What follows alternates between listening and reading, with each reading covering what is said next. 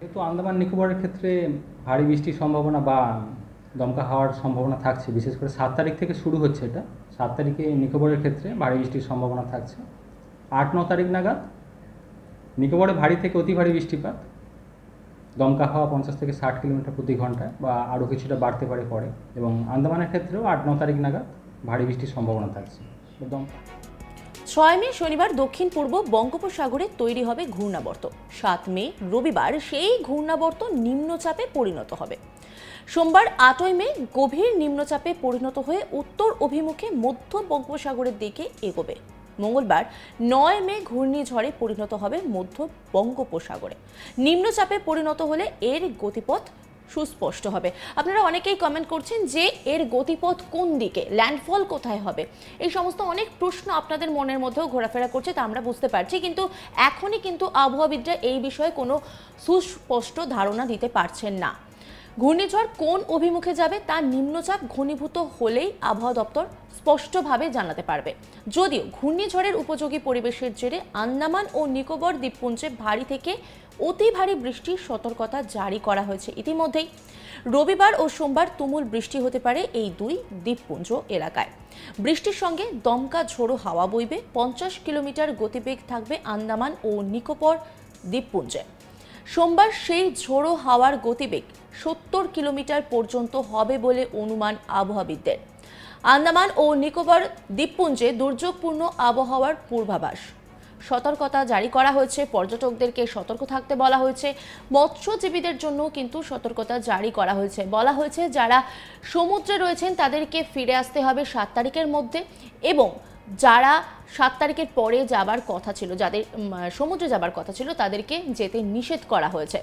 এই দ্বীপপুঞ্জ সংলগ্ন সমুদ্রে সোমবার থেকে বৃহস্পতিবার পর্যন্ত মৎস্যজীবীদের সমুদ্রে যেতে নিষেধ করা হয়েছে। যারা সমুদ্রে রয়েছেন, তাদের রবিবার বিকেলের মধ্যে উপকূলে ফিরে আসতে পরামর্শ দিয়েছেন আবহাওয়াবিদরা। দক্ষিণ পূর্ব বঙ্গোপসাগর এবং মধ্য বঙ্গোপসাগর এলাকায় শনিবার থেকে বৃহস্পতিবার পর্যন্ত এই সমুদ্র এলাকাতেও মৎস্যজীবীদের প্রবেশ নিষেধ বলে জানিয়েছে মৌসম ভবন। সত্তর কিলোমিটার পর্যন্ত দমকা ঝোড়ো হাওয়া বইতে পারে দেশের পরিষেবা এবং সমুদ্র তীরবর্তী বিনোদনমূলক পর্যটন সম্পর্কিত ক্রিয়াকলাপ বন্ধ রাখার পরামর্শ দেওয়া হয়েছে। এছাড়া আন্দামানের পাশাপাশি দক্ষিণ চব্বিশ পরগনা, পূর্ব মেদিনীপুরের উপকূলবর্তী এলাকাগুলিতে বাড়তি সতর্কতা জারি করা হয়েছে ইতিমধ্যেই।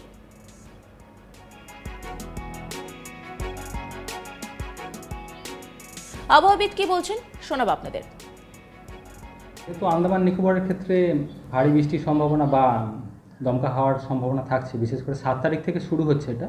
সাত তারিখে নিকোবরের ক্ষেত্রে ভারী বৃষ্টির সম্ভাবনা থাকছে। আট, ন তারিখ নাগাদ নিকোবরে ভারী থেকে অতি ভারী বৃষ্টিপাত। দমকা হাওয়া পঞ্চাশ থেকে ষাট কিলোমিটার প্রতি ঘন্টায় বা আরও কিছুটা বাড়তে পারে পরে। এবং আন্দামানের ক্ষেত্রেও আট, ন তারিখ নাগাদ ভারী বৃষ্টির সম্ভাবনা থাকছে দমকা হাওয়ারও সম্ভাবনা থাকছে। যেহেতু মৎস্যজীবীদেরও সতর্কতা থাকছে আন্দামানে। আট তারিখের পর থেকে বারো তারিখ পর্যন্ত। সমুদ্রে যেতে নিষেধ করা হচ্ছে। আন্দামানের মৎস্যজীবীদের। সমুদ্রের যে অ্যাক্টিভিটিস বা ভেসেল হ্যাঁ, মানে হ্যাঁ। পর্যটকদের জন্য হ্যাঁ সেগুলো খানিকটা রেস্ট্রিক্টেড থাকার সম্ভাবনা থাকছে। রেস্ট্রিক্টেড করার অ্যাডভাইসারি রয়েছে। মেনলি আট তারিখের পর।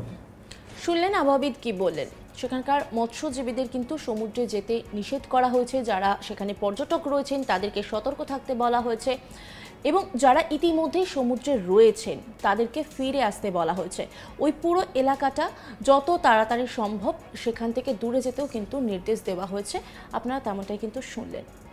অবশ্যই সতর্ক থাকুন, সাবধানে থাকুন। যদিও এখনই কিন্তু এই মোকার কোথায় ল্যান্ডফল হবে বা কোন দিকে গতিমুখ হবে সেটা কিন্তু বোঝা যাচ্ছে না।